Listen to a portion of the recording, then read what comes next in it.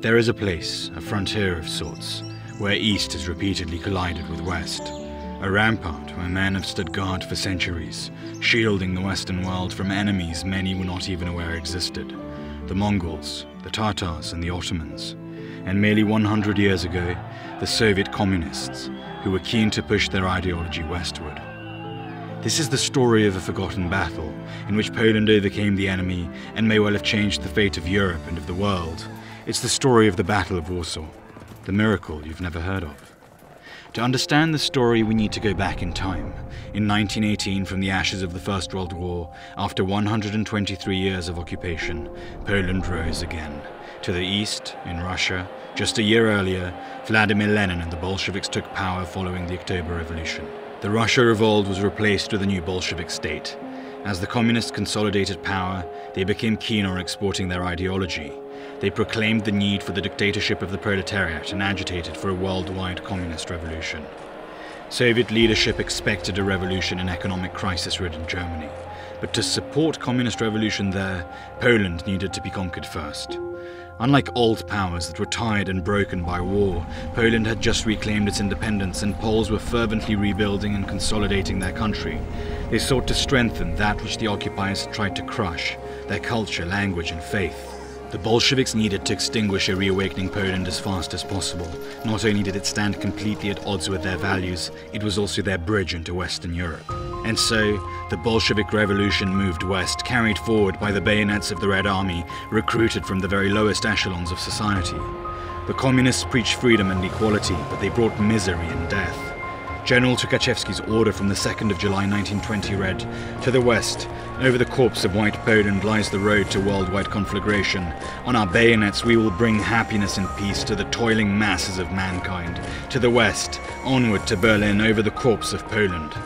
It wasn't just the independence of Poland that was at stake in the Battle of Warsaw. If the Soviets managed to break the Poles and push west into Germany, communist revolution may have been successfully ignited, and Europe may have fallen to the Soviets. The Soviets moved through Poland at the remarkable rate of 32 kilometers a day. By the beginning of August 1920, the vanguards of the Soviet army had reached the outskirts of Warsaw. The Poles were unwilling to give up their newly acquired independence. The nation came together and mobilized its resources. A volunteer army was created. In total, over 100,000 Poles would join from all walks of life peasants and aristocrats, students and workers, Boy Scouts and intellectuals alike enlisted to defend Poland. Polish women were not idle either, with thousands enlisting in the Voluntary Legion of Women, a female paramilitary. Civilians gathered food and medical supplies, and church pews filled up as Poles prayed for victory over the Bolshevik armies. Volunteers from abroad also joined the Poles. Americans formed the Kościuszko Volunteer Flight Squadron, the French sent an advisory group, and the Hungarians supplied ammunition. The Soviets advanced, confident in victory. However, the Polish military intelligence had successfully decrypted the Red Army's radio messages, and the Poles prepared themselves for the oncoming onslaught. On the 13th of August, the Battle of Warsaw finally started. The die was cast. This was a war of worlds, freedom against oppression, faith against godlessness, the right to work, create, and own against complete subjugation to the state, the individual against the collective. This was a battle between Western civilization and communist totalitarianism. It was here, on the outskirts of Warsaw, that in August of 1920, the fate of the world was to be decided. And against all odds, the Poles prevailed. It took the tactical genius of Field Marshal Piłsudski, General Rozwadowski, and General Haller, the courage of Polish soldiers, and the mobilization of the whole country to overcome the Soviets. At the end of the 15th of August, the Soviet advance was finally halted, and on the next day, Field Marshal Piłsudski led the successful Polish counteroffensive. Since the victory occurred on the Feast of the Assumption, the battle came to be known as the Miracle of the Vistula.